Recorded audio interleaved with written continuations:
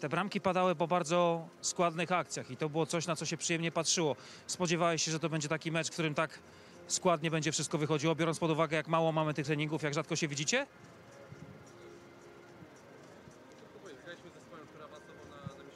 E, wiedzieliśmy, że e, narzucimy swój styl, czyli będziemy wysoko do nich presingiem podchodzić, to e, te piłki możemy im, im odebrać. I tak było, no, że przy tych akcjach e, spokojnie e, wyczekaliśmy moment, przypresowaliśmy, odebraliśmy piłkę i z tego się stwarzały sytuacje, więc tak jak mówię, no, idziemy do przodu małymi krokami i widać, że, że ten zespół się cały czas rozwija i wchodzą nowi młodzi zawodnicy i to na pewno bardzo cieszy, bo takich zawodników ja, jak, jak ja, to tylko mnie to motywuje do ciężkiej pracy.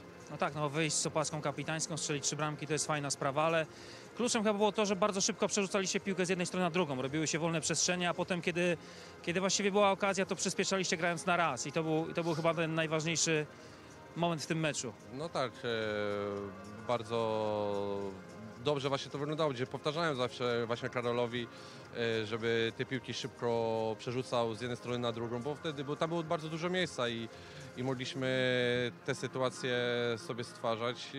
Mówię, fajnie, fajnie, że, że dzisiaj tych akcji było sporo, mogliśmy, mieliśmy dużo sytuacji i mogliśmy nawet ten wynik e, mógł być, mógł być większy, ale mówię, no cieszmy się, że, że wyglądało to dobrze, wysoki wynik i trochę na pewno spokoju może będzie. To zapytam Cię jeszcze raz, bo dostaję sygnał, że to pierwsze pytanie się tam nie do końca nagrało. Jak to jest strzelić hat-tricka? Ja, ja byłem przekonany w ogóle, że przyjdziesz z piłką, bo tą piłkę, rozumiem, może zabrać do domu. Tak, No i komu to dedykujesz? Nie, No, dzisiaj akurat tego hatryka dedykuję mojej żonie Dominice. Obchodzimy się dziewiątą rocznicę ślubu i to kochanie jest dla Ciebie. Jest to na pewno fajny dzień dla nas. No i na pewno wszyscy, cała rodzina się cieszyć. jest szansa, że, że przeniesiesz to po tych, nie wiem, 10 dniach na, na klub, bo to jest, no to jest naprawdę ważne dla nas, żebyś, żebyś grał w West Bromwich. To No. było twoje marzenie, grać w Premier League. No oczywiście, no, to było moje marzenie i dalej będę robił wszystko, żeby, żeby, żeby grać. No, e, żeby się pokazać, to trzeba tą szansę dostać i ja na pewno na pewno robił wszystko, żeby tą szansę, szansę od trenera Bilicza dostać, ale wydaje mi się, że, po, że trener też doceni moje występy w reprezentacji i, i to przeniesie się na grę w klubie. No, ale zobaczymy, zobaczymy co, co się jeszcze wydarzy, bo to jeszcze nic nigdy nie wiadomo jest, co może się wydarzyć.